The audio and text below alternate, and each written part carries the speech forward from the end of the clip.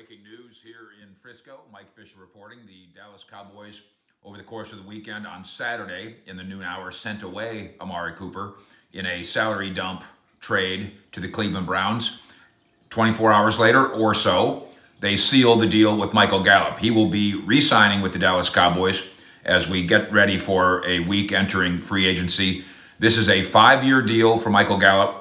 Uh, total value $62.5 million. There's $27 million in guarantees, we are told. This is a blockbuster deal in terms of a keep the gang together, run it back sort of attack for the Dallas offense, which, of course, at its best was as good as anybody in 2021, despite the struggles uh, and despite the ups and downs. Michael Gallup has his own ups and downs, all because of injury issues. He will, of course, in this offseason, be rehabbing the ACL.